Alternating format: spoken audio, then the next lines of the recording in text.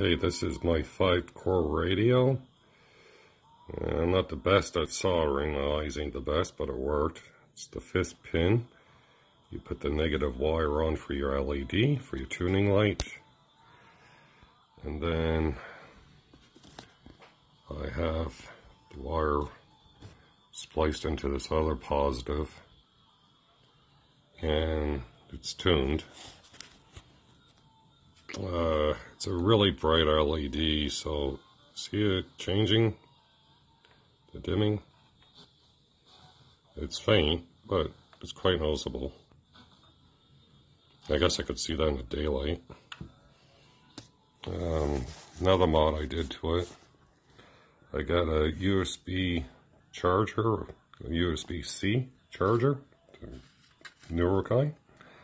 So I got that installed too. And on this side, I got a 15, uh, 18650, sorry, 18650 battery powering it. And on the side, you can see where the USB-C is. Uh, to do it, I used my, uh, I guess, microscope. Yeah, it works okay. It's nice and, and a little soldering station. Numerous other tools. I had to connect it to the laptop. So anyways, hope you liked the video. Uh, I'm not professional at this, but seems to work fine.